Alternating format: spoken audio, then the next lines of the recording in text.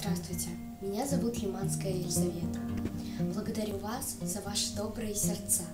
Благодаря вам я теперь могу пройти реабилитацию. Желаю вам здоровья, благополучия и счастья. Здравствуйте, я Лиманская Наталья, мама Лиманской Елизаветы. Год назад Елизавете была проведена сложная операция по удалению опухоли головного мозга. В результате у Елизаветы возник глубокий гемопарез справа, парализовала правую сторону тела, руку, ногу, у нее испортилось зрение, нарушилась речь и память. Для того, чтобы восстановиться, Елизавете нужна регулярная профессиональная реабилитация. Мы искренне благодарим благотворительный фонд «Ксения спасает жизни» за оказанную нам поддержку в оплате реабилитации в центре «Три сестры».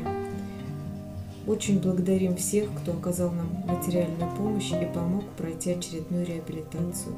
Желаем вам крепкого здоровья, благополучия и гармонии